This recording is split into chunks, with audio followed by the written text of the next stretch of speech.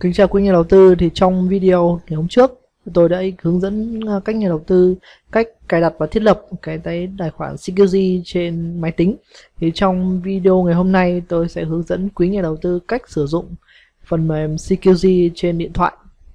Thì đầu tiên để chúng ta uh, sử dụng được thì chúng ta uh, mở CH Play chúng ta nhập từ khóa là CQG CQG và thì nó hiển thị ngay ở trên đầu. Thì cái FCQG này thì quý Hà đầu tiên tiến hành tải và cài đặt. Sau khi đã cài đặt xong thì chúng ta sẽ tiến hành mở nó ra. Như là quý nhà đầu tư thấy thì tôi đã mở cài đặt từ trước rồi. Bây giờ tôi chỉ việc mở nó ra thôi sau đó thì giá nó sẽ à, thì nó sẽ kết nối tới hệ thống CQG quý nhà đầu tư đăng nhập bằng username thường là à, tài khoản của quý nhà đầu tư ở trong cái phần mềm VC còn uh, password thì được gửi về email cho quý nhà đầu tư từ CQG thì uh, chúng ta nhập password vào. Phần này tôi sẽ che đi vì đây tôi đang sử dụng tài khoản à, cá nhân để minh họa cho quý nhà đầu tư thấy. Chúng ta sẽ tiến hành đăng nhập vào.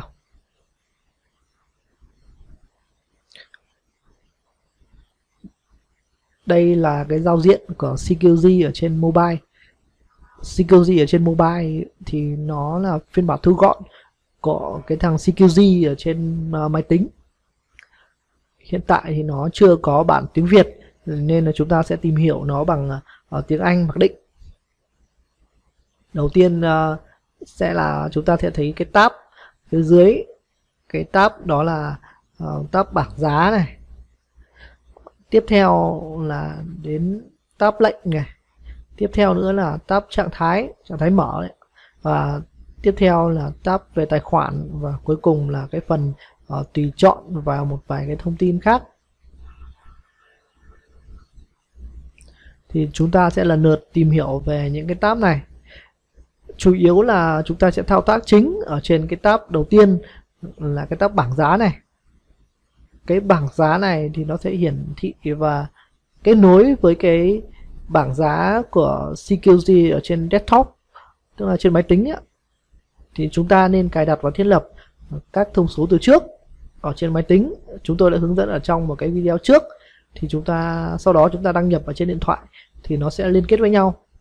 Và chúng ta không cần phải tốn nhiều thời gian ở trên cài đặt điện thoại nữa.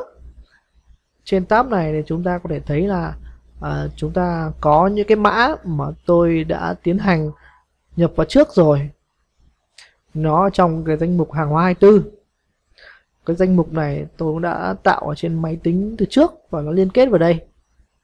Chúng ta tạo thêm những cái danh mục khác hoặc là chọn những cái danh mục uh, demo họ làm sẵn ở đây cho chúng ta. Tất nhiên là chúng ta cần phải mua dữ liệu thì nó mới hiển thị giá được.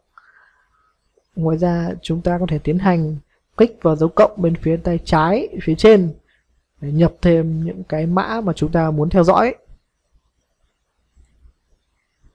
Vẫn theo cái cú pháp là mã cộng với cái tháng cộng với cả năm thì chúng ta có thể nhập thêm những cái mã vào. Rất là đơn giản ngoài ra góc bên tay phải phần ba chấm này chúng ta có thể uh, cũng có thể nhập thêm hoặc là chỉnh sửa cái danh sách này hoặc là xóa cái danh sách này hoặc là uh, gửi cho cái danh sách này cho một ai đó. Trong cái danh sách này thì để hiển thị những cái kiểu giá khác nhau thì chúng ta click vào cái phần giá. Ví dụ tôi sẽ nháy vào phần giá thì nó sẽ hiển thị những cái giá giao dịch chờ mua chờ bán hoặc là giá cao hoặc giá thấp nhất trong ngày khác nhau.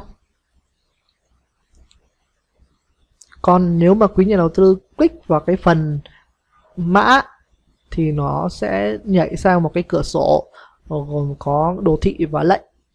Đây ví dụ như đang hiển thị ở phần lệnh. Ở trong cái phần mặc định thì quý nhà đầu tư click vào nó sẽ uh, ra cái phần biểu đồ đấy. Đấy chúng ta có thể chọn vào cái phần biểu đồ đây và nó sẽ hiển thị cái đồ thị cho chúng ta.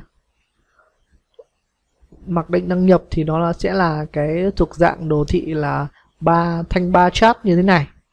Đấy thì cứ như là click vào cái phần uh, biểu tượng này để chọn nó thành cái đồ thị nến candle stick chart.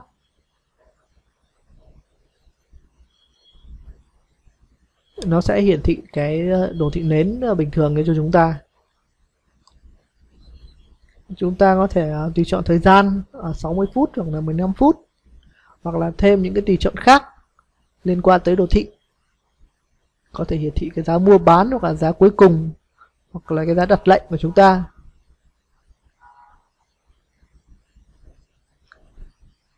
Chúng ta có thể thấy là à, ở trong một cái đặt đấy thì chúng ta à, nó hiển thị luôn cái giá cái lệnh của chúng ta ví dụ như là quý nhà đầu tư có thể thấy là tôi đang mở một cái lệnh mua một lót dầu đậu tương ở giá 28.2 chính là cái đường ờ, xanh chấm chấm phía dưới đấy ạ. Nó hiển thị ngay trên đồ thị luôn của chúng ta. Và hiện tại là 28,23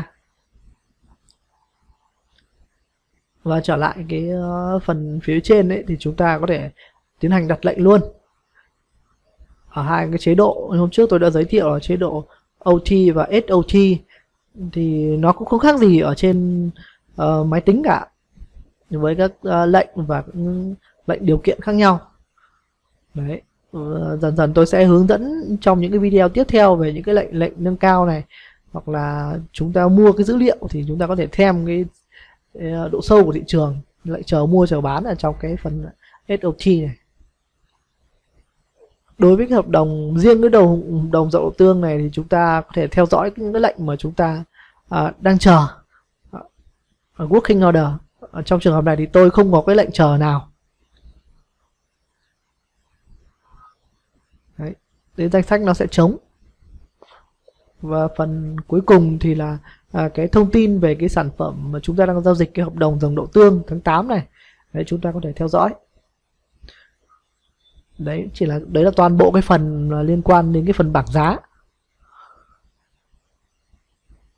Chúng ta có thể theo dõi giá này đồ thị này đặt lệnh mua bán này. Đấy, theo dõi trạng thái của chúng ta này.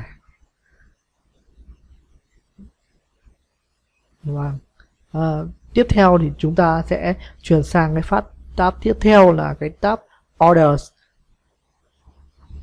Order là cái phần mà lệnh nó sẽ gồm toàn bộ lệnh này hoặc là cái phần lựa chọn ờ, working uh, free cancel tức là toàn bộ lệnh này những cái lệnh đang chờ hoặc là những cái lệnh đã khớp hết rồi hoặc là những lệnh mà chúng ta đã hủy. Đấy nếu mà chúng ta có những cái lệnh ở đây thì chúng ta có thể theo dõi quan sát được. Hoặc trong cái phần working nếu mà có lệnh thì chúng ta hoàn toàn có thể hủy hoặc sửa. Giống như là trên uh, máy tính nó là cái phần chờ. Phần tiếp theo là cái tab position tab thứ ba là tab trạng thái. Tức là à, chúng ta theo dõi cái vị thế của chúng ta đang mở mua hay là mở bán cái nào mà ví dụ như đây là chúng ta à, đang có một cái hợp đồng dầu đậu tương tháng 8 năm 2020 với giá mua là 28.2 đấy chúng ta có cái phần liquidate này chúng ta có phần kích vào đây thì nó sẽ tiến hành thanh lý trạng thái của chúng ta. Tức là chúng ta sẽ đóng cái trạng thái này với giá thị trường. Nếu quý nhà đầu tư kích vào cái phần liquidate position ấy thì nó sẽ tiến hành thanh lý đóng cái trạng thái của chúng ta với giá thị trường. Đấy tôi chưa có ý định thì tôi sẽ cancel đi. Còn cái phần uh, account là cái tab thứ tư thì nó sẽ hiển thị cái tab uh, số dư của chúng ta số dư lãi lỗ dự kiến hoặc là lãi lỗ đã thực hiện rồi. Thì nó cũng hoàn toàn giống như là ở trên máy tính thôi. Quý nhà đầu tư có thể theo dõi ở đây cho nó tiện nếu mà chúng nhà không cầm máy tính. Còn cái phần uh, mo này thì chúng ta click vào thì có thể nhìn thấy uh, một vài uh, cái tùy chọn. Chúng ta click vào phần tùy chọn. Ví dụ chúng ta có thể chuyển sang uh, màu trắng hoặc là uh, chuyển lại màu đen. Đấy. hoặc là uh, lựa chọn những cái uh, nến tăng giá hoặc là cái biểu tượng tăng giá giảm giá đánh dấu là những màu khác nhau.